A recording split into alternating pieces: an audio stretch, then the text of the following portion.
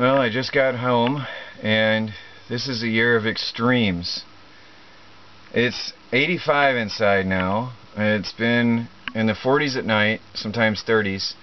And now suddenly we have 85 inside. Let me show the outside temperature.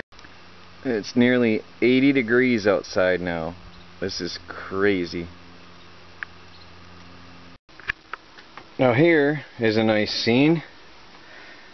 A fridge full of groceries and frozen food.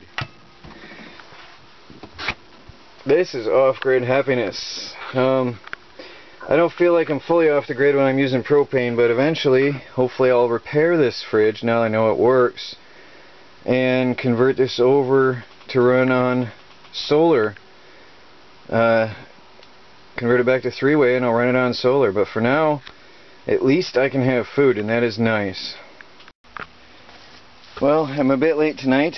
I don't know how well you can see this, but there's my golf cart batteries. And there's a new addition to the family. I am, um, I just got home and uh, somebody, another fellow YouTuber, bought me these batteries. Uh, show you his name on the bottom here. And I want to get these hooked up while it's dark so tomorrow I can charge them up right away. Okay, I've got my my batteries hooked up. Now what I've done, and I'm sure there's some experts who probably tell me I'm wrong, I've taken minus to minus to minus and plus to plus to plus.